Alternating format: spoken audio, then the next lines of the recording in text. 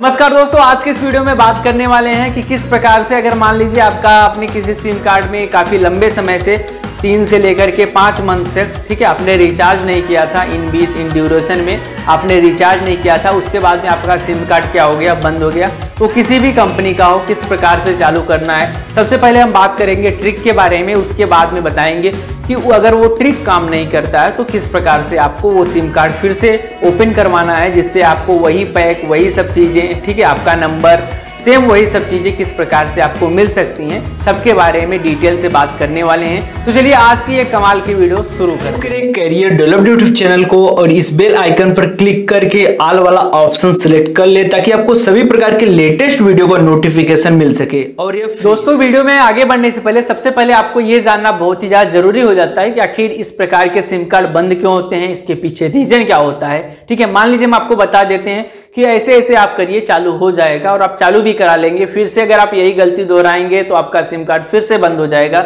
और आप कहेंगे कि भाई मेरा सिम कार्ड फिर से बंद पड़ गया। सो so, इससे अच्छा है कि सबसे पहले हम जान लेते हैं कि सिम कार्ड आखिर इस प्रकार के बंद क्यों होते हैं फिर जानेंगे ट्रिक उसके बाद में ट्रिक नहीं काम करता तो क्या करना पड़ेगा वो जानेंगे। ठीक है?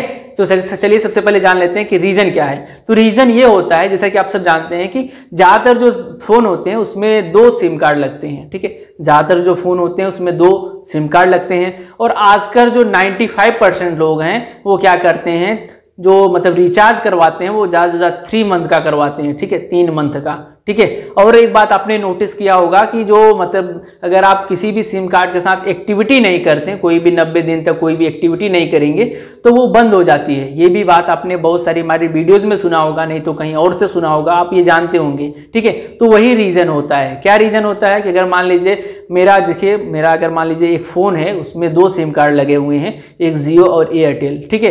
अब मान लीजिए मेरे को किसी दिन लगता है कि मेरे को इस समय थ्री मंथ वाला जो रिचार्ज है अब तो बहुत सारे सारे लोग एक एक साल का करवा देते हैं, ठीक है रिचार्ज और उसका जो दूसरा, अगर मान लीजिए सिम कार्ड उसमें लगा हुआ है, एक ही फ़ोन में दो सिम कार्ड है, और एक जियो का है, मान लीजिए जियो में हमने एक साल का रिचार्ज करवा दिया, और जो सेकेंड सिम कार्ड है एयरटेल का, उसमें हम रिचार्ज ही नहीं करवाते, उसका कोई एक्टिविटी नहीं करते तो वो सिम कार्ड धीरे धीरे बंद हो जाती है। बहुत सारे लोग निकाल के भी रख देते हैं तो ऐसी गलती आप बिल्कुल मत करिएगा। हम आपको बताते हैं क्या क्या चीज़ें कैसे कैसे करना है। ठीक है तो यही रीज़न होता है आपके सिम कार्ड बंद होने का, आप उसमें रिचार्ज नहीं करते, कोई एक्टिविटी नहीं करते।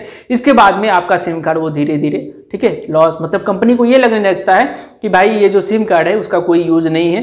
ये भाई वैसे ही लगा के रखे हैं, लेकिन आपके लिए तो इंपॉर्टेंट है, आप कहीं बैंक में दे करके रखे होंगे, कोई इंपॉर्टेंट पर्सनल नंबर होगा तो वो सब चीज़ें आपके साथ हो सकती है, ठीक है? तो ये रीज़न है, ठीक है, ये रीज़न है बंद होने का। अब आपको इस रीजन को कैसे सॉल्व करना है, वो आपको बता देते हैं। इस रीजन को आप सॉल्व करने के लिए क्या कर सकते हैं? जैसे कि मान लीजिए हम जियो और एयरटेल का सिम कार्ड यूज़ करते हैं। और यहाँ पर अभी सबसे पहले यहाँ पर देख लीजिए कि किसका नेटवर्क अच्छा है, ठीक है? अब आप वो देख लीजिए, उसका आप रिचार्ज करवाइए। तो यहाँ पर हमारे जियो का नेटवर्क अच्छा है। ठीक है? तो जियो का नेटवर्क में हम जैसे कि जियो वाले अपने सिम कार्ड में हम रिचार्ज कर देंगे। जो भी उसका फुल टाक टाइम है थ्री मंथ वाला रिचार्ज है, जो भी आप करवाना चाहे, एक एक साल वाला बहुत सारे लोग अब करवाने लगे हैं। तो वो भी लोग करवा सकते हैं, ठीक है? कोई दिक्कत नहीं, करवा लीजिए। लेकिन जो सेकेंड वाला आपका सिम कार्ड है एयरटेल उस पर भी आप ध्यान रखिए, ठीक है? उस पर ध्यान रखिए। कैसे ध्यान रखेंगे? आप अगर जैसे कि अगर आप एलिजिबल है वन मंथ का 49 वाला रिचार्ज करने के लिए हर मंथ में तो करते रहिए, उसको भी आप कर सकते हैं। नहीं तो अगर आप देख लीजिए, दो मंथ में आप करना चाहें, ठीक है, दो मंथ में 49 वाला रिचार्ज करिए, ठीक है तो आपका क्या, वो क्या होगा, वो सिम कार्ड रनिंग पे रहेगा, वो सिम कार्ड आपका बंद नहीं होगा। ठीक है? तो इस प्रकार की इस प्रक्रिया को आप जारी रख सकते हैं। बहुत ही इंपॉर्टेंट जानकारी दी है। ध्यान रखिएगा और वीडियो को लाइक करिएगा ताकि इसी तरीके से इन्फॉर्मेशन वाली वीडियो और भी आपके साथ शेयर कर पाए। तो चलिए अब बात कर लेते हैं ट्रिक के बारे में कि ट्रिक की सहायता से कैसे इस प्रकार के सिम कार्ड को चालू किया जाए। बट यहाँ पर एक बात आपको ध्यान देनी है कि यहाँ पर हर एक कंपनी के सिम कार्ड में ट्रिक आजमाने का तरीका अलग अलग है तो यहाँ पर आप क्या करिएगा कि जो भी आपका कंपनी का सिम कार्ड है, उस ट्रिक को आज आप आजमाइएगा। जैसे कि एयरटेल का है तो एयरटेल वाला जो मैं प्रोसेस बता रहा हूँ, वो आजमाइएगा। जियो का है तो जियो का वीआई का है वी का। ठीक है, इस प्रकार की चीज़ें, ठीक है? तो सबसे पहले हम बात करेंगे एयरटेल वाले सिम कार्ड के बारे में। अगर आपने रिचार्ज नहीं किया था एयरटेल वाले सिम कार्ड में काफ़ी लंबे टाइम से वो बंद हो गया है तो कैसे चालू करना है? ठीक है?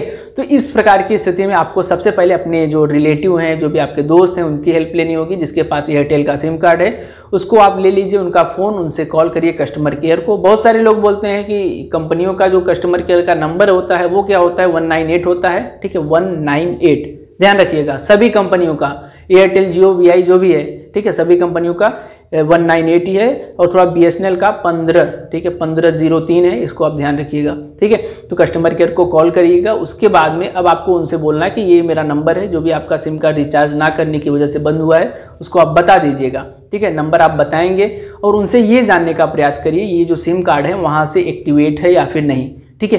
तो वो अगर बोलते हैं हाँ भाई, हमारे तरफ़ से सर्विस सर्विस आपके लिए चालू है। आप मतलब इसमें रिचार्ज करिए, उनसे बोलिएगा मैं इसमें रिचार्ज कर दूँ, फिर चालू हो जाएगा। तो वो बोलेंगे हाँ आप रिचार्ज कर सकते हैं। अगर सर्विस चालू रहेगा तो बोलेंगे रिचार्ज आप कर सकते हैं। और अगर सर्विस नहीं चालू रहेगा तो वो आपको कुछ अदर भी सुझाव दे सकते हैं। और जो मैं, अगर आप ट्रिक नहीं फॉलो करना मतलब ट्रिक अगर आपका ये लागू नहीं होता तो क्या करना है? वही प्रोसेस हम आपको भी बताएँगे एंड में। ठीक है? सो चलिए, यहाँ तक आपने जान लिया कि एक्टिवेट ज़्यादातर केस में एक्टिवेट रहता है। ठीक है? उसके बाद में आपको बोलेंगे कि रिचार्ज आप कर सकते हैं, चालू हो जाएगा। उसके बाद में आप फुल टाक टाइम वाला रिचार्ज करिएगा। फुल टाक टाइम मतलब जो उसमें आपको अनलिमिटेड डाटा मिले वन से मतलब वन जीबी डाटा मिले वन पॉइंट फाइव जी तक डाटा मिले, इस प्रकार की चीज़ें मतलब अनलिमिटेड चीज़ें होती हैं और फुल टाक टाइम आप समझते होंगे आई होप जिसमें ज़्यादातर चीज़ें अनलिमिटेड होती हैं, इस प्रकार की चीज़ें, जिस जो कि 199 से शुरू होता है, कुछ कंपनियों का और भी ज़्यादा हो सकता है, देख लीजिएगा आप, और फुल टाक टाइम आप बोलेंगे कुछ लोगों से तो वो भी आपको हेल्प कर देंगे, ठीक है? तो फुल टाक टाइम वाला रिचार्ज करिएगा, उसके बाद में आप देखेंगे एक से दो दिन के बाद आपका सिम कार्ड में नेटवर्क आना शुरू हो जाएगा। अगर ऐसा नहीं होता है, तब आपको क्या करना है, ठीक है?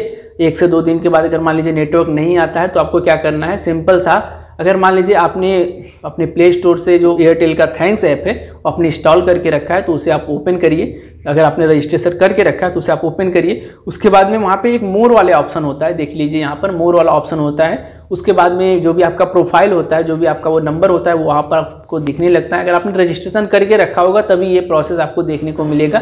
नहीं तो क्या करना है, वो भी हम आपको बता देंगे। ठीक है? तो वहाँ पर आप क्लिक करेंगे, वहाँ पर ईमेल आईडी आपका देखने को मिलेगा सबसे नीचे। ईमेल आईडी को आप एक बार अपडेट कर लीजिएगा। ठीक है? और अगर आप यहाँ से नहीं कर पा रहे हैं, आपने रजिस्ट्रेशन एयरटेल वाले में नहीं करके रखा है तो आप कस्टमर केयर को फिर से कॉल करिएगा। दो दिन के बाद हो सकता है। तो आप एक बार वो भी बात कर लीजिएगा, क्यों नहीं चालू हुआ? उसके बाद में ये भी बता दीजिएगा कि मतलब कि अगर वो जो भी बोलते हैं, ठीक है, उसके बाद में आप एक काम ज़रूर करवाइएगा उनसे। अपना ईमेल आईडी वहाँ से अपडेट करवा लीजिएगा। ईमेल आईडी वहाँ पर आपका पहले से कोई रजिस्टर नहीं होगा। आप अपना ईमेल आईडी बता दीजिएगा, जो भी आप यूज़ करते हो, उनको आप बता दीजिएगा कि भाई मेरे इस सिम ये जो नंबर है, मेरा जो भी बंद हुआ है, इसमें आप ईमेल आईडी अपडेट कर दीजिए। तो वो वहाँ से अपडेट कर देंगे। तो जब आपका ईमेल आईडी अपडेट हो जाएगा और आपका रिचार्ज भी हो जाएगा तो आई मतलब कि लगभग एक दिन के बाद, या भी हो सकता है दो, तीन घंटे बाद आपका सिम कार्ड, जो एयरटेल वाला है, वो फिर से चालू आपका हो जाए। ठीक है, नहीं होता है तो क्या करना है, उसके बाद आपको बताएँगे, लेकिन 98 परसेंट चांस है आपका चालू ज़रूर हो जाए तो चलिए बात कर लेते हैं जियो वाले सिम कार्ड के बारे में। अगर वो आपका सिम कार्ड जियो का है तो कैसे उसको चालू करना है? और ज़्यादातर ये प्रॉब्लम जियो वालों को ज़रूर आती है, मैंने देखा है कई बार। और इस पर मैंने वीडियो भी बताई है मतलब बनाई थी और काफ़ी लोगों को ये चीज़ें मैंने बताया भी था और ये हंड्रेड परसेंट श्योर है, ये बातें उनके ऊपर लागू हुई और उन्होंने हमको कमेंट करके भी बताया था। तो क्या है चीज़ें, क्या है ट्रिक उसको आप ध्यान रखिए। सबसे पहले आपको कॉल करना है जियो ऑफ़िस में। ठीक है जो भी नंबर है वन नाइन एट मैंने बताया उस पर कॉल करिए जियो कस्टमर केयर उठ, उठाएगा। उसके बाद में आप बोलिए कि भाई ये जो मेरा नंबर था जियो का वो रिचार्ज ना करने की वजह से बंद हो गया है। और आप देख के बताइए कि आपकी तरफ़ से सभी सर्विस चालू है मेरे इस नंबर पर या फिर नहीं। जो भी नंबर है आप बता दीजिएगा तो आपको बता देंगे ठीक है? तो अगर बोलते हैं सर्विस चालू है आप रिचार्ज करेंगे आपका सिम कार्ड चालू हो जाएगा। तो आप रिचार्ज करिएगा सिंपल सा और आपका मतलब रिचार्ज जब हो जाए कभी कभी क्या होता है रिचार्ज होने के एक दिन बाद, दो दिन बाद आपके सिम कार्ड में नेटवर्क आ जाता है। और अगर नेटवर्क नहीं भी आता है, तब आपको क्या करना है, आप एक बार क्या करिएगा माई जियो अप्लीकेशन ज़्यादातर लोग अपना जो मतलब प्ले स्टोर है, वहाँ से माई जियो अप्लीकेशन इंस्टॉल करके रखते हैं, अपना नंबर डाल के रखते हैं। ठीक है? तो उसको आप माई जियो का अप्लीकेशन है, उसे आप ओपन करिएगा। उसके बाद में वहाँ पर सबसे ऊपर आपको थ्री डॉट देखने को मिलता है। थ्री डॉट पर क्लिक करेंगे, उसके बाद में जो आपका नाम होगा, जिसके भी नाम से सिम कार्ड है, वो देखने को मिलेगा। उस पर आप क्लिक करेंगे तो एडिट प्रोफ़ाइल का एक ऑप्शन आपको देखने को मिलेगा। यहाँ पर आप देख सकते हैं, जस्ट आप एडिट प्रोफ़ाइल वाले ऑप्शन पर आप क्लिक करेंगे तो वहाँ पर दो ऑप्शन आपको देखना है। एक अल्टरनेटिव नंबर दूसरा ईमेल आईडी तो दूसरा जो ये दो जो दोनों ऑप्शन है, इसको आप एक बार अपडेट कर लीजिएगा। अगर उसमें आपने डाल के रखा है कोई नंबर ईमेल आईडी रजिस्टर करके रखा है तो ठीक है उसको आप अपडेट कर लीजिए कोई दूसरा ईमेल आईडी डाल दीजिए कोई दूसरा नंबर डाल दीजिए ठीक है? तो ऐसा डाल करके आप उसको अपडेट कर लीजिएगा। उसके बाद में आप देखेंगे नेक्स्ट डे आपका चालू हो जाएगा। अगर आपका नहीं चालू होता तो नेक्स्ट आपको प्रोसेस बताएँगे क्या करना है लेकिन नाइन्टी परसेंट चांसेस चालू हो जाएगा। अब बात कर लेते हैं वीआई सिम कार्ड के बारे में। सो वीआई सिम कार्ड का भी प्रोसेस कुछ इसी तरीके से है और ज़्यादातर ये प्रॉब्लम वीआई वालों को देखने को नहीं मिलती है क्योंकि वीआई का सिम मतलब पता नहीं, ये लोग चालू करके ही रखते हैं, कोई ज़्यादा दिक्कत नहीं होता। लेकिन मान लीजिएगा अगर आपको प्रॉब्लम आ रही है तो आपको भी सिंपल सा यही काम करना है। सबसे पहले आप बात कर लीजिएगा, उनसे बता दीजिए कि ये मेरा वीआई का नंबर है। वीआई मतलब वोडाफोन आइडिया काफ़ी लोगों को अभी भी पता नहीं है, मैं कितनी बार बता चुका हूँ। ठीक है वीआई का मतलब वोडाफोन आइडिया वन पर कॉल करना है कस्टमर केयर को। उनको बता दीजिए, ये मेरा नंबर है। ठीक है रिचार्ज नहीं किया, काफ़ी दिनों से अभी ये बंद हो गया है, कैसे चालू करना है, आप थोड़ा सा हमारी हेल्प करिए और उनसे भी यही जानने का प्रयास करिए, ये जो सिम कार्ड है मेरा, वहाँ से सभी सर्विस चालू है या फिर नहीं? ठीक है, यही बात आप उनसे भी यही जानने का प्रयास कीजिए, जिस तरीके से सभी लोगों ने जानने का यहाँ पर प्रयास किया है, बाकी वाले प्रोसेस में तो आप यही जानने का प्रयास करिए, अगर वहाँ से सभी चीज़ें एक्टिवेट रहेंगी तो आपको भी यही काम करना है, आपको एक फुल टाक टाइम वाला रिचार्ज करना है। फुल टाक टाइम का रिचार्ज का मैंने आपको मतलब बताया, जिसमें अनलिमिटेड चीज़ें आपको मिलती हूँ। वन नाइन नाइन का हो सकता है, इसके ऊपर का भी हो सकता है, ठीक है? तो इस तरीके की चीज़ें हो सकती हैं तो आप फुल टाक टाइम वाला रिचार्ज करिएगा आप भी।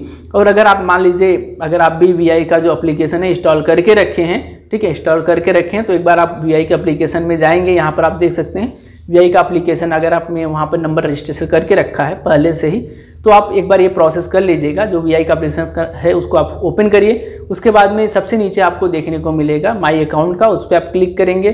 उसके बाद आपका नंबर सबसे ऊपर आपको देखने को मिल जाएगा। उसके बाद में आपको क्या करना है, जो भी आपका अल्टरनेटिव नंबर है, जो भी ईमेल है, वहाँ पे डाल करके उसको आप रजिस्टर कर दीजिए। ठीक है? नहीं है तो आप कर लीजिए। अगर है तो उसको आप अपडेट कर लीजिए। ठीक है? तो इस प्रोसेस को आप कर लीजिए, उसके बाद में आप एक से दो दिन तक का वेट करिए और वी वालों का दो ही घंटों में मैंने देखा इस प्रकार की चीज़ें होने पर चालू हो जाता है। और ज़्यादातर ये जो प्रॉब्लम है जियो वालों को देखने को मिलती है। मैंने खुद एक्सपीरियंस किया है और बाकी मेरे सिम कार्ड में देखने को नहीं मिला। कुछ लोगों ने कमेंट करके पूछा था तो मैं सोचा देता बता देता अब बात कर लेते हैं बीएसएनएल वालों का। ठीक है बी वालों का प्रोसेस सेम उसी तरीके से है जिस तरीके से मैंने आपको बताया। BSNL वालों को सिंपल सा यही काम करना है। आप सबसे पहले इसमें तो BSNL का कोई ऐप वेब भी नहीं है कुछ चीज़ें अपडेट भी नहीं कर सकते।